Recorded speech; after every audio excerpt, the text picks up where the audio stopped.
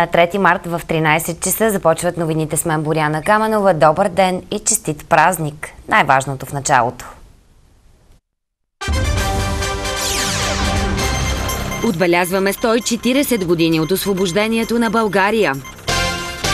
Официално приключи предизборната кампания в Италия. Утре ще се проведат парламентарни избори там. Силна буря и ураганни ветрове причиниха хаос по североизточното американско крайбрежие.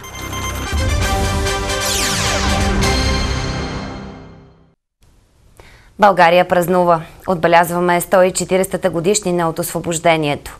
Именно на 3 март 1878 година е подписан Сан-Стефанският мирен договор, с който се слага краят на руско-турската война и тази дата е приета за български национален празник. Цяла България празнува и почита памета на загиналите за свободата ни, а на връх Шипка, символът на нашата свобода, продължават честванията. Президентът Румен Радев прие почетния караул. Слова произнасят официалните гости на тържествата. Повече за честванията ще разберем след малко в емисията. А сега с а, още информация за днешния празник.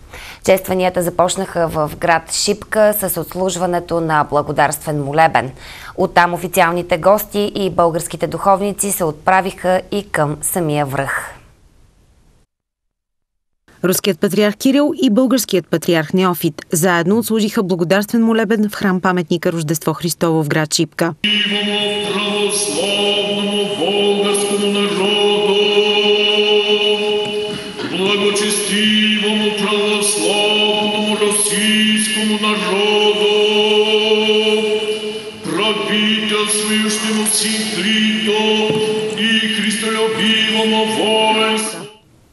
словото си българският патриарх Неофит призова никога да не забравяме саможертвата на сънародниците ни за нашата свобода. Чувства на радост, на гордост и благодарност владеят сърцата ни в този празничен 3 март, когато цяла България тържествено чества благословената 140 годишни на своето освобождение. Радост от свободата, в която вече 140 години живее, гордост, извикана от героичните събития, които си припомняме днес, и благодарност към Бога и към нашите освободители, които пожертваха живота си заради нас, за да бъдем свободен, да бъде свободен православният ни народ и да може отново да гради сам своите съдбини.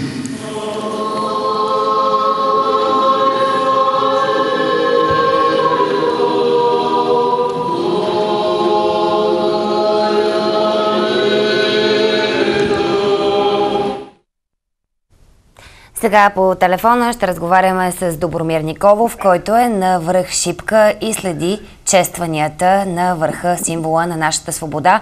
Добър ден, Добро! Добър ден, Боряна. Честит празник на всички наши зрители. Преди около половин час приключиха честванията, които пък от своя страна продължиха около 40 минути. А, те закъсняха доста, тъй като официалните лица дойдоха с около час закъснение. Вместо предвидената програма започна в 11, започна около 12. А, речи държаха президента Тъмен Радев, председателят на Народно събрание Цвета Калянчева, както и руският, митро, както и руският патриарх Кирил. А, всички те поздравиха българите за празника. А, президентът Румен Радев а, изтъкна, че а, заслугата на всички българи е, че всяка година са на шипка и пазят историческата памет. Цвета Карянчева от своя страна изтъкна подвигът, а, който се е случил тук а, по време на руско-освободителната а, на турско-руската война в 1970 година.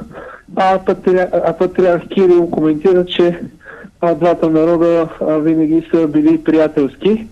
Последваха, разбира се, рецитиране на ората на Иван Вазов, както и изпълнение на патриотични песни. Хиляди граждани са се стекли тази година на Шипка, а, като мерките за сигурност бяха изключително засилени. Буквално ако 3 не си дошъл в района на паметника, нямаше как да стигнеш до него, тъй като интересът беше голям, а проверките детайлни.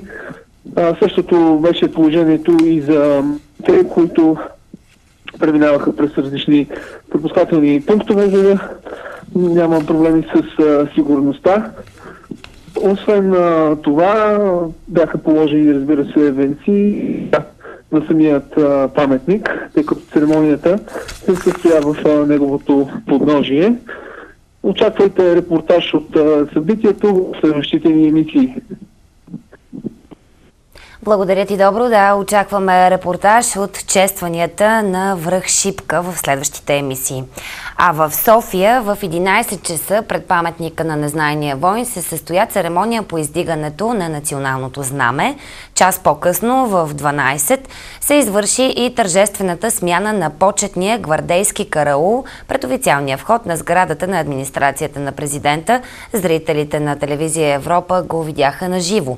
Как празнува София повече сега от Камелия Колева? Добър ден, Ками!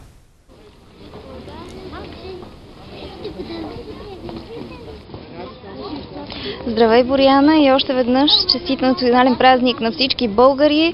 София, както и останалата част на България, празнува тържествено 3 март, както ти споменато в 11 часа пред паметника на незнайния войн, където се намирам, бе извършено тържествено, тържествено вдигане на българското знаме. Присъстваха редица официални лица, вице-премьера Илияна Йотова, министърът на отбраната Красимир Каракачанов, заместник мета на София Тодор Чубанов. Може да видите от атмосферата около мен, тук продължават да, пристигат десетки хора, които поднасят своите цветя и се покланят пред паметника на незнайния войн. Любопитно е, че голяма част от хората, които пристигат тук са семейства, семейства с своите деца, с малки деца, които поднасят цветя, Здравей и честит празник! Благодаря. Искам да поздравя всички българи, да поздравя май, майка си и баща си и сестричката ми. Кажи ми, защо 3 март е толкова важен за българите? М- защото... Защо дойде ти тук а, на паметника на незнайния войн? Еми, за да... Как се казваше? Да отдадеш почет, да се поклониш? Да, да отдам почет и да се поклоня.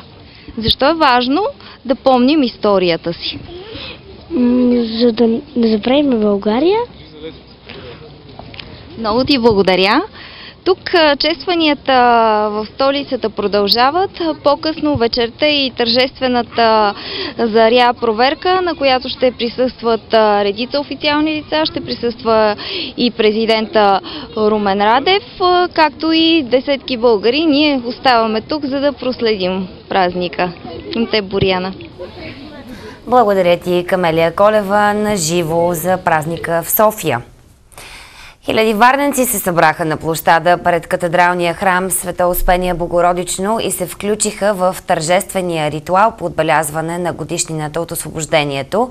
В морската столица тържествено беше издигнат националния флаг.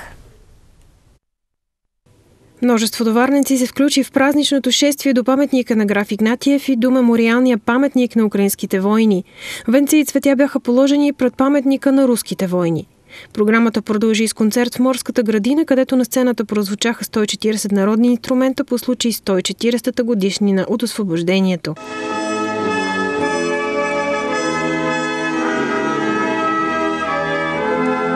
Повод празника във Варнеския квартал Владислав Варненчик обявиха конкурс за химн на квартала.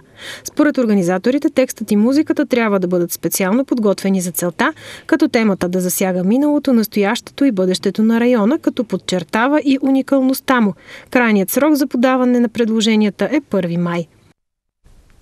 Премьерът Бойко Борисов поздрави българите във Фейсбук по случай празника. Чести 3 март, поклон пред памета на всички, които са се борили и загинали за свободата на България. Признателност, която няма давност. Нека всеки българин днес живее така, че тяхната жертва да не е била на празна, написа Борисов. Той е получил и поздравителни писма от премиерите на Руската федерация и на Турция Дмитрий Медведев и Биналия Ударъм по случай националния празник на България. В писмото руският премьер Медведев отбелязва подвига на руските войни и българските опълченци, сражавали се за свободата и независимостта на България. Боевете на Шипка и при Плевен са станали част от нашата обща история, която трябва да пазим грижливо, се казва в поздравителното писмо. Медведев посочва, че активният двустранен диалог между България и Русия ще продължи да допринесе допринася за укрепване на руско-българското взаимодействие и ще създаде условия за насърчаване на нови перспективни проекти в различни сфери. В поздравителното писмо до българския премьер Бинали Елдъръм изразява увереност, че настоящите отношения между България и Турция ще продължат да се развиват в полза на нашите народи и нашия регион. Следя с задоволство ефективната дипломация, която България прилага по време на председателството на съвета на Европейския съюз и съм удовлетворен от засиления диалог през последните месеци между двете правителства, се посочва още в писмото на турския премьер. Истинското число на загиналите в бой по време на войната 1877-1878 година руски войници е 11 905 души. Има и 5121 безследно изчезнали. Това разкрива в предаването документите Антон Тодоров. Реално загиналите руски войници по време на войната от 1877-1878 година са по-малко от 12 000, разкри в предаването документите политологът Антон Тодоров. Според официалните данни, публикувани през 1886 година във военно-медицински отчет по Дунавската армия за войната с Турция 1877-1878 година, загубите на руската армия са следните. Починали от болести 49 104 души, загинали при нещастни случаи 1360 души, убити в сражения 11 905 души и безследно изчезнали 5121 души или 67 490 души. Сведенията в този над 500 страничен том с най-висока степен на достоверност, защото са доставени от полевите командири на главния помощник на върховния главнокомандващ по военно-медицинското управление. В научни трудове, издадени преди 1989 година, както и в учебниците по история от онова време, масово се твърди, че убитите руски войници по време на руско-турската война от 1877-78 година са 200 хиляди. Няма нито едно солидно доказателство в тези изследвания, което да обосновава тази силно завишена статистика. Това е число, което показва около три пъти повече жертви от реалните. Ако пък бъдат взети предвид само убитите, то в този случай завишението е над 10 пъти. Европейската статистическа служба също почете 3 март. Евростат излезе с данни за България. Вижте част от тях. Знаете ли, че България е третият най-голям производител на ароматни, медицински и култивирани растения в Европейския съюз? С този въпрос Европейската статистическа служба започва статията си, с която представя страната ни на връх националния ни празник 3 март. Българите обичат да пътуват из родината си, като 84% от туристическите им обиколки са именно в рамките на България, посочват от Евростат. Други любими дестинации на българите са Гърция и Турция. За да отбележат националния ни празник 3 март от Евростат представят и основни данни за родината ни, като ги сравняват с тези в Европейския съюз. Така, например, се посочва, че населението у нас е 7 милиона и 100 хиляди души, или 1% и 4 от населението в Европейския съюз. Територията ни е 111 000 квадратни километра, което е 2,4 на 100 от цялата територия на Европейския съюз. Брутният вътрешен продукт на България е 0,3% от този на Европейския съюз, а безработицата у нас е едва 5,9 на 100, докато в Европейския съюз тя е средно 7,3%. Според други данни на Евростат, пък 70 на 100 от живеещите в столицата са били доволни от градските условия на живота си в София. За последните години столицата ни е нараснала с около 400 000 души, което е промяна от близо плюс 40%. И още по случай годишнината от освобождението в Националния исторически музей беше открита изложба Знаци на свободата и героизма, посветена на руско-турската освободителна война. Експозицията включва оригинални предмети и художествени произведения от фондовете на музея, както и лични вещи на видни личности, свързани с събитията от освобождението. Лични вещи на участници в освобождението на България, портрети на генералите и коронованите глави от епохата и фотографии на страната ни малко след освобождението. Това са част от експонатите, включени в изложбата Знаци на героизма, която се откри на 3 март в Националния исторически музей. Голяма част от експонатите са предоставени от Националната агенция архиви и за първи път се показват пред широката общественост. Примерно манифест за обявяване на войната, според мен за първи път вижда бял свят. Той е предоставен с любезно съдейства на Държавна агенция архиви. Това да. е височайшия манифест, с който е даден старта на освободителната война. Да, това е обявяването на войната срещу Турция на Александър II и е, започват подготовка на военните действия. И естествено веднага следващата е първия понтонен мост, който е направен за прехвърляне на руските войски при Свищов. Картините в изложбата са рисувани от съвременните автори Марина Варенцова-Русева и Николай Русев. Но било много интересно някаква компилация да направи. Горе-долу ти трябва да изглеждат по един и същ начин, в един и същ размер. Вот и много интересна тема била. И исторически консултации съм правила, кой какъв, как изглеждал. Посетителите на изложбата могат да видят жезъла, принадлежал на граф Николай Игнатиев, дарен на историческия музей от неговия внук. Барутница рок на оситенеца Николай Додар Караев, приятел на капитан Петко Войвода, доброволец в българското опълчение, участва в боевете за Шипка и Стара Загора. Сред експонатите са и далекоглед на българския опълченец Трифон Каменов, бинокъл на руски офицер, участник във войната, а също изящно изработени сребърни подноси кошничка, използвани при посрещането на руските войски, начало с генерал Гурков Пловдив. Младите хора не бива да ги подценяваме.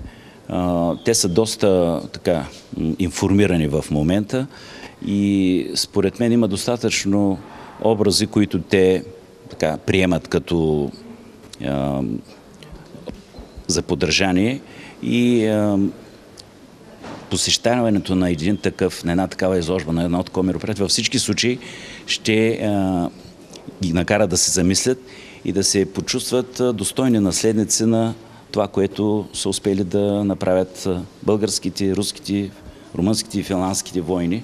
Експозицията Знаци на свободата и героизма ще гостува на Националния исторически музей до 5 май. Останалите теми на 3 март. Във връзка с повишението на температурите и засиленото снеготопене, кметът на София Фандъкова разпореди да се извършва наблюдение на състоянието на реките и нивата на общинските язовири на територията на столичната община.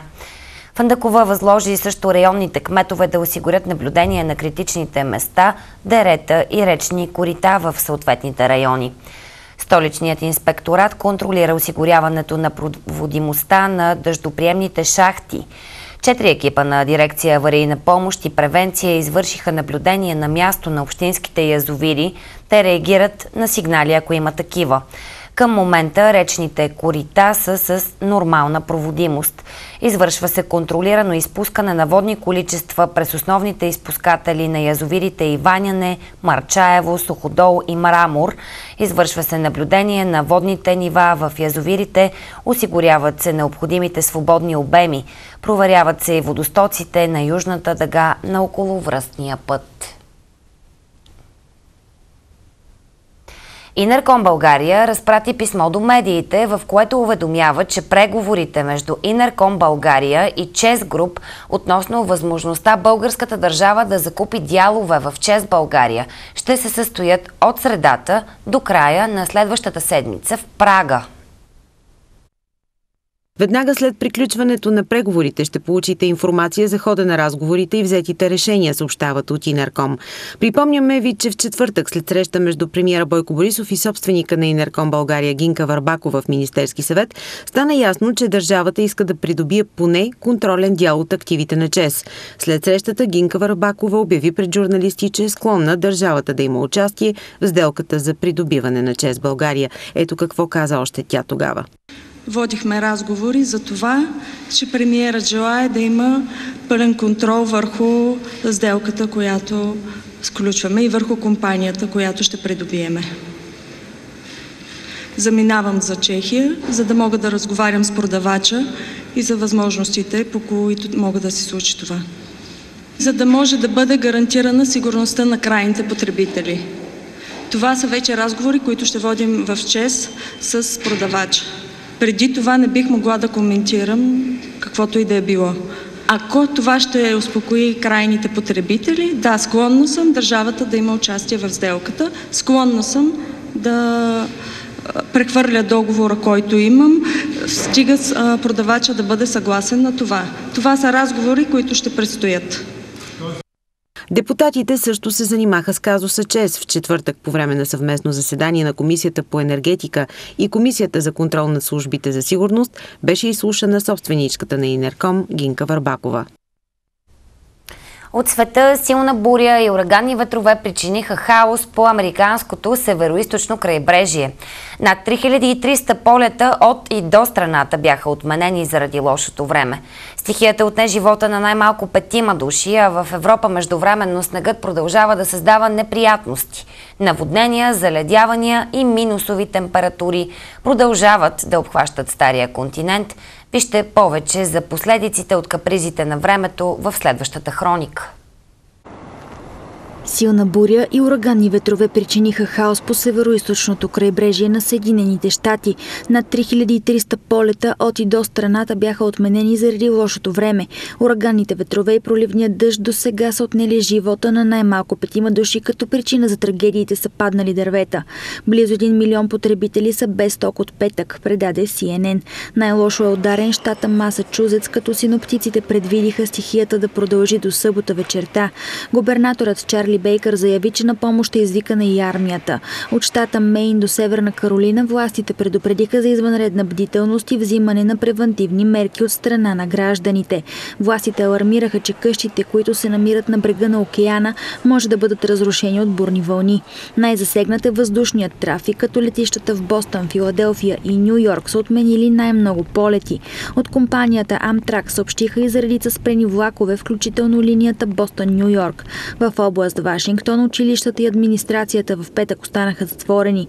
Метеоролозите предупредиха и за очаквани силни снеговалежи, които допълнително ще влушат обстановката по северо крайбрежие.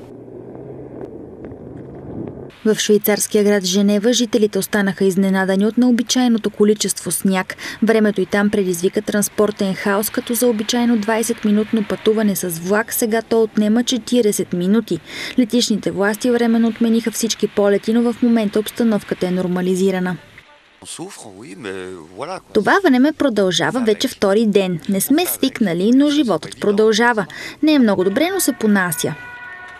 В Великобритания синоптиците прогнозираха повишение на температурите, но предупрежденията за сняг и поледици остават в сила. Сега властите алармират и за наводнения заради топящия се сняг.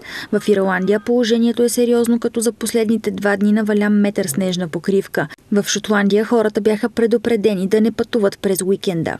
В Северна Италия ледът възпрепятства железопътния транспорт, като влаковете между Милано и Генуа и Торино и Генуа бяха спрени. Това предизвика напрежение движение, тъй като трите града се смятат за економическите центрове на страната и движението между тях е интензивно.